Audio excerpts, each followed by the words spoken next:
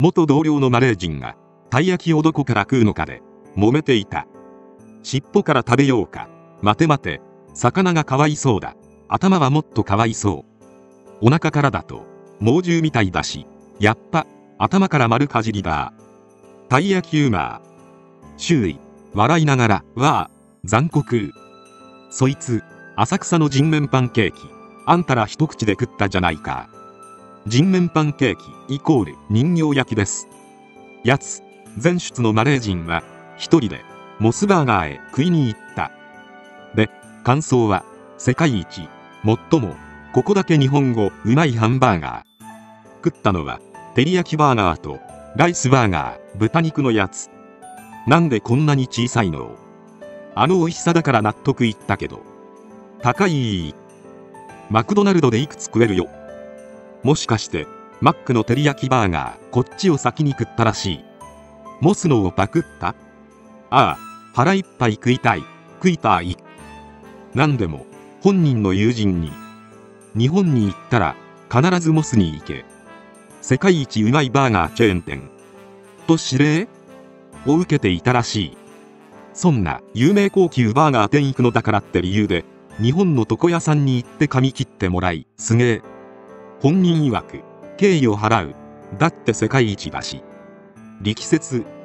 その後よし牛ジャンキーになり給料日にモスに行くような人になりました。知り合いのマレーシア人の当時の生活です。もともと退職感痩せの大食い系好き嫌いなしの無宗教。朝はコンビニで大好きな鮭おにぎりか手巻き寿司を一つ。お昼は中毒になってしまった吉野家の牛丼狂牛病がなかった時代よは目の前の定食屋の目玉焼きハンバーグ定食足すご飯大盛り足すサービス納豆。晩ご飯は牛丼完全に中毒ですと生野菜。おやつにコンビニのお菓子コーナーとジュースコーナーを行ったり来たり。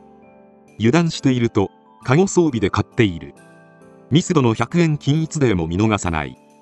オタだったので給料の大半をグッズにつぎ込み生活費というかむちゃくちゃエンゲル係数の高い人だった。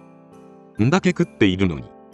モスの照り焼きバーガーは別腹世界で一番美味しいハンバーガー。残念なのはどうしてこんなミニミニサイズなのかってことドーンと食べたい。とモス一緒に行くたびに言っていた。マレーシア人はカップ焼きそばに目がないと聞いた。ソースが馴染むらしい。日本での研修期間3ヶ月で6キロ太りましたよ。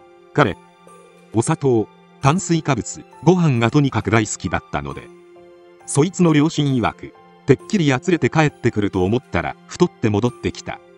と笑われたそうです。どのブランドかは忘れましたけどペヤングではないカップ焼きそばも食していました。確かにおっしゃる通り真っ黒系。2回に1回は取説を聞かれました。日本のカップラーメンはギミック多いと。グータでしたっけ？生タイプで具材ついているの。あれ食ってラーメン屋がいらねえ。と感動してました。ラーメンの好みはいろいろでしたね。仕事柄マレーシア人とかオーストラリア人と多く知り合いました。観察しましたら一人はとにかくジャンガララーメンが大好きで食って毎回腹を壊していました。こいつは味噌バターか豚骨とにかく脂っこいものが好きでしたね。塩でもいいじゃんと毎回思っていました。あっさりってのがないのかも。